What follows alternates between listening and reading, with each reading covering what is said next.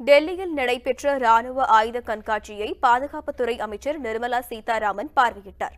பாகிஸ்தான் படைகள் மற்றும் தீவிரவாதிகளுக்கு எதிராக நடத்தப்பட்ட சர்ஜிக்கல் தாக்குதலில் முதலாம் ஆண்டு தினத்தை ஒட்டி டெல்லி இந்தியா கேட் பகுதியில் ராணுவ ஆயுத கண்காட்சி நடைபெற்றது.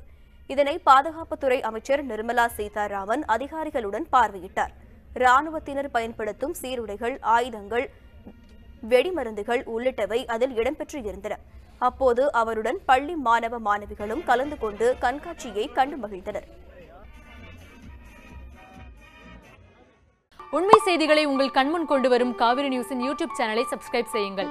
நொடிக்கு நொடி நாட்டு நடப்புகளை தெரிந்து கொள்ள Kaveri news dot TV Facebook Instagram Twitter போன்ற சமூக வலைதள பக்கங்களோடு எப்போதும் இணைந்திருங்கள்.